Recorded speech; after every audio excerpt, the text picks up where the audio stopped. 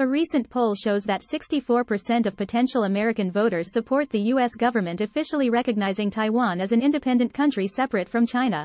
Yes, you heard it right, 64%. I mean, just look at that. Our Democrats, Republicans, and independent voters have reached a consensus, which is even harder than finding Bigfoot. Wait, is Bigfoot real? I forgot to ask those 14% who oppose if they believe in Bigfoot. Now, let me address the 22% who are undecided. Your attitude reminds me of ordering at a restaurant. When the waiter comes, I say, I want a burger, no wait, I want a pizza, no no, maybe sushi. Oh, I forgot, I'm actually not sure. I completely understand your dilemma. Sometimes choices are really hard, especially when you have to pick between two options instead of having all the food you want from a menu. And the timing of this data release is just a few days after our Secretary of State, Antony Blinken, made a statement saying, we do not support Taiwan's independence. Well, I know, I know, this contradiction is like telling your friend, I don't support you losing weight, but I absolutely support you fitting into those smaller sized jeans. We all know those jeans won't budge, Mr. Blinken. And then this chaotic situation becomes even more interesting. Our president, Joe Biden, has stated in 2021 and 2022 that if China invades Taiwan, the United States will defend Taiwan, which goes against the long-standing strategic ambiguity policy of the US. Then the White House retracted this statement. It's like making a bet with your friend, saying, if it rains tomorrow, I'll give you $5, and then the next morning you wake up to pouring rain outside, and you say, oh, I meant if it's sunny tomorrow, I'll give you $5. This is a classic example of what we call a policy flip-flop, my friends.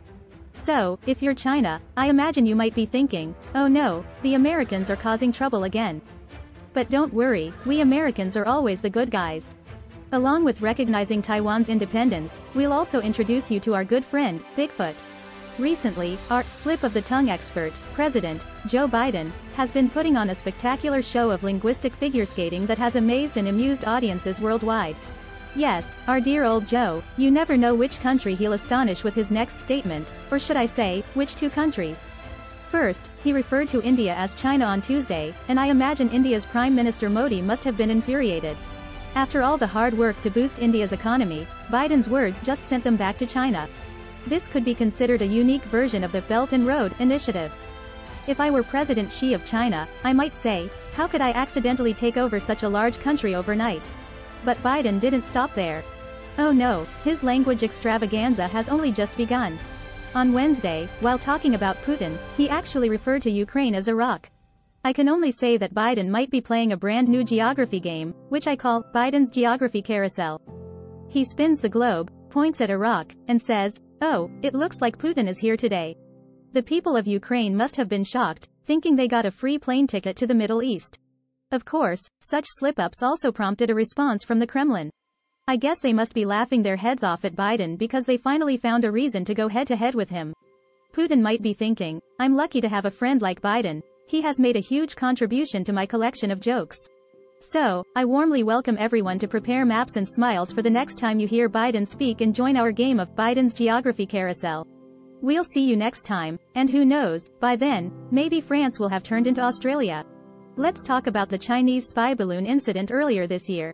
According to the Wall Street Journal, U.S. officials cited preliminary findings from a thorough investigation that revealed a Chinese spy balloon flying over U.S. airspace earlier this year, using American technology equipment to collect intelligence information. U.S. officials have stated that analysis has revealed that the downed Chinese balloon was filled with American equipment, some of which is available for sale online, along with more specialized Chinese sensors and other devices used to collect photos, videos, and other information to transmit back to China. They assert that these findings support the conclusion that the aircraft was engaged in espionage activities, rather than the weather monitoring claimed by Beijing. However, it appears that this particular balloon failed to transmit the data it collected while flying over Canada and the U.S. back to China. Nine bipartisan members of the U.S. House Armed Services Committee, including Chairman Mike Rogers, arrived in Taiwan on the 27th and met with Taiwanese President Tsai Ing-wen on the afternoon of the 28th. This visit comes at a sensitive moment in U.S.-China relations, and Taiwan's Ministry of Foreign Affairs has stated that it is the largest-scale visit by U.S. lawmakers in recent years. President Tsai Ing-wen expressed gratitude for the long-standing U.S. commitment to Taiwan's security and emphasized the continuous cooperation between Taiwan and the U.S. in areas such as the economy and defense to safeguard peace and stability in the Indo-Pacific region. Rogers also stated that U.S. support for Taiwan has always been bipartisan and unwavering. Former U.S. Ambassador to the United Nations Nikki Haley delivered a speech at the American Enterprise Institute, AEI, think tank in Washington, D.C., on the 27th. Haley announced earlier this year that she would be running for the Republican Party's presidential nomination. Reuters noted that her remarks were among the strongest statements on China taken by potential Republican candidates. Haley advocates that if China does not stop the flow of fentanyl into the United States, the U.S. should cancel normal trade relations with China. Additionally, she calls for U.S. companies to move out of China, stating that if the United States stands united, the Chinese Communist Party will become a historical relic. Chinese embassy spokesperson Liu Pengyu criticized Haley's remarks on the 28th as irresponsible, stating that only those who rely on smearing and shifting blame to gain attention during election campaigns will become historical relics. We have seen China engaging in increasingly coercive behavior in the South China Sea, including attempting to exercise its expansionist and illegal maritime claims, said Daniel Kritenbrink, the U.S. Assistant Secretary of State for East Asian and Pacific Affairs, at a South China Sea conference hosted by the Center for Strategic and International Studies on Wednesday. Kritenbrink emphasized that the U.S. policy is to support countries in exercising sovereignty and pursuing national interests, and that both large and small countries should abide by the same rules, with larger countries not bullying smaller ones.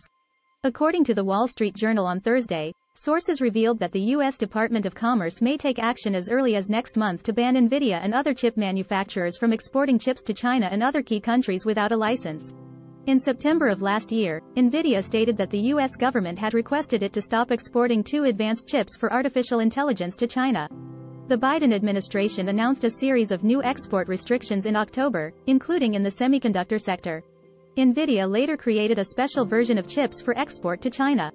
On the 28th, China passed the Foreign Relations Law, which stipulates that China has the right to counteract sanctions and interference by foreign countries. Wang Yi, director of the Office of the Central Commission for Foreign Affairs of the Communist Party of China, stated that China will continuously improve its legal toolbox for external struggles, and this law provides legal protection for China's diplomacy as a major country with Chinese characteristics. However, experts have pointed out that this law may make the situation for foreign companies in China even more difficult. China will implement the revised anti-espionage law starting from July 1, expanding the definition of espionage-related activities. Patrick, deputy spokesperson of the U.S. State Department, stated on June 28 during a regular press briefing that the U.S. is closely monitoring the impact of the law after its implementation.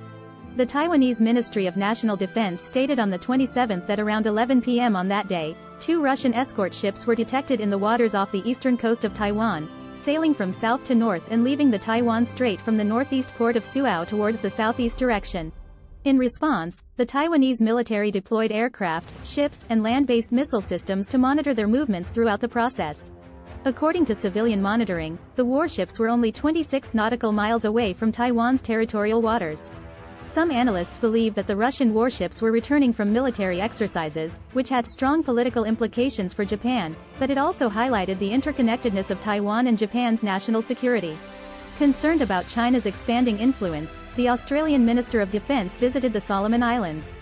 Taiwanese Foreign Minister Joseph Wu called on Canberra to send a military attaché to Taipei to jointly prevent the worst-case scenario from happening as Beijing continues to issue war threats. He also stated that the Taiwanese government hopes to send a military attaché to Canberra. Wu Zhaoxie also stated that this issue needs careful discussion between Taiwan and Australia, and Taiwan respects the decision of the Australian government. Taiwan's foreign minister, Joseph Wu, stated in an interview with Philippine media that Taiwan is considering bringing in more Filipino workers, potentially allowing them to stay in Taiwan for a longer period and apply for permanent residency. The latest opinion poll by the Taiwan Public Opinion Foundation shows that Taiwan's vice president and Democratic Progressive Party presidential candidate, Lai Ching-te, is the most favored presidential candidate by the United States. To counter China's growing diplomatic influence, Japan plans to expand its diplomatic personnel in the Indo-Pacific region.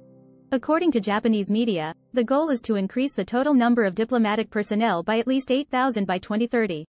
After the German Federal Office for the Protection of the Constitution's annual report for 2022 identified China as the biggest threat in the economic and scientific espionage fields, the federal minister of education called on universities to reassess their cooperation with Confucius Institutes and set clear boundaries. Currently, there are still 19 Confucius Institutes operating in Germany, but several universities, such as the University of Hamburg, Goethe University Frankfurt, University of Dusseldorf, and University of Trier, have ended their cooperation with Confucius Institutes in recent years. The Czech security strategy identifies Russia as a direct threat and considers China as a systemic competitor. This year marks the 10th anniversary of the Belt and Road Initiative, and as China actively seeks new members to join, Italy, the only G7 country participating in the initiative, has repeatedly expressed consideration of withdrawing from the plan.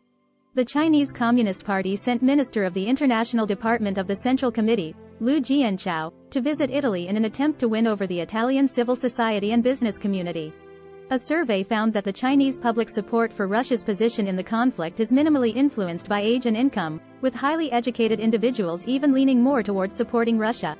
The most critical factors are gender and information sources. Women and those who obtain information from foreign media tend to be more inclined to oppose the war, while those who receive information from official media and social media are more strongly supportive of Russia.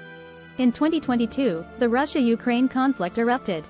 Based on the long-standing friendly relationship between China and Russia and the adoration of Putin among the Chinese public, many sympathize with Russia, which is facing joint sanctions from the West. A former senior CIA official stated that for Xi Jinping and China, the internal turmoil and instability in Russia, which may arise from the successful Western-supported Ukrainian military counteroffensive and sanctions, could lead to further isolation. He said that for China, a pragmatic choice would be to ease tensions with the United States and Europe, but it has been shown that Xi Jinping is more focused on ideology than his predecessors. China does not oppose returning Crimea to Ukraine. On the 27th, Chinese ambassador to the EU, Fu Cong, was asked by reporters if he supported Kyiv's efforts to regain the territories occupied by Russia. He said he saw no reason to oppose Ukraine regaining all the territories it obtained when it declared independence in 1991, including the Crimea Peninsula that was annexed by Russia in 2014. Fu Cong later added that these are historical issues that must be resolved through negotiations between Russia and Ukraine.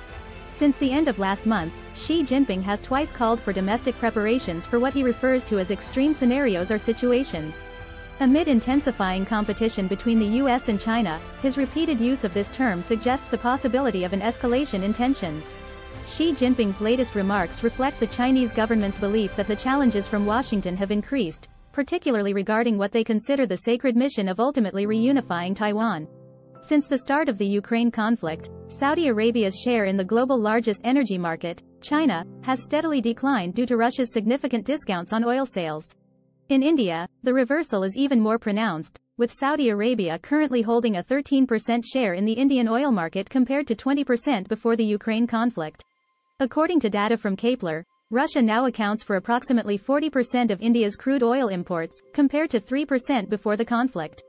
As Western countries continue to raise flags of risk reduction in dealing with China, the visit of New Zealand Prime Minister Jacinda Ardern and her delegation to China sends a signal that the Western world is not a monolithic bloc. Faced with a stagnant economic momentum, New Zealand is once again turning its gaze towards China. However, as geopolitical tensions in the Indo-Pacific region intensify, the domestic demand to reduce reliance on Beijing is also growing in New Zealand. Can both sides overcome these obstacles? After the Asian financial crisis in 1997 and 1998, Thailand and other Southeast Asian countries managed to overcome their economic difficulties through exports. Ireland and Spain similarly employed this strategy after the global banking collapse in 2008 and 2009. In the following years, Greece did the same after the outbreak of the European financial crisis. Now, Beijing is also weighing whether to use exports to stabilize its economy. Visa has become the biggest challenge for Chinese people traveling abroad this summer.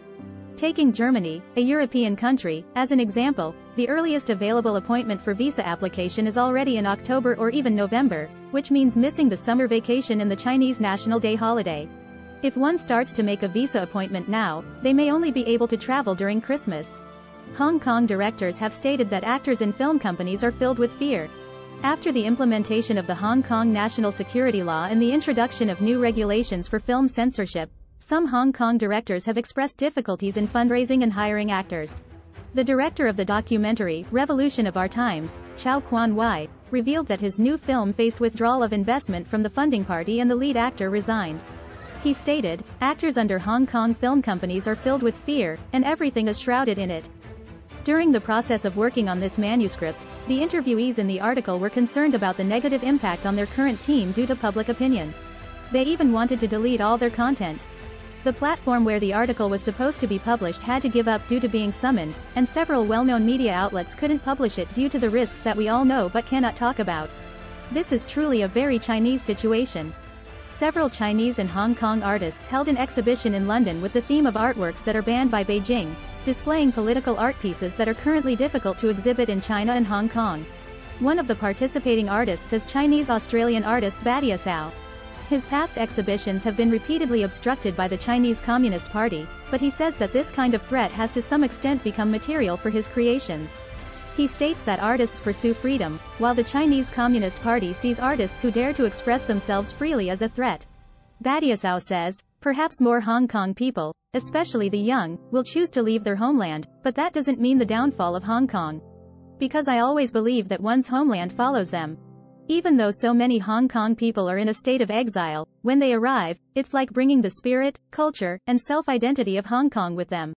Renowned Chinese-American writer Yan Ling, who was blacklisted by the Chinese government last year for criticizing their mishandling of the COVID-19 pandemic and calling attention to the Iron Chain Girl incident, published her latest Chinese novel, Malati, through her own publishing institution based in Berlin, Germany, in June. Indian stock market hits a new high as investors bet on corporate growth. India's main stock index, Sensex, rose to 63,915.42 points on June 28. Expectations of sustained corporate performance growth, driven by India's increasing population and income, have attracted capital inflows.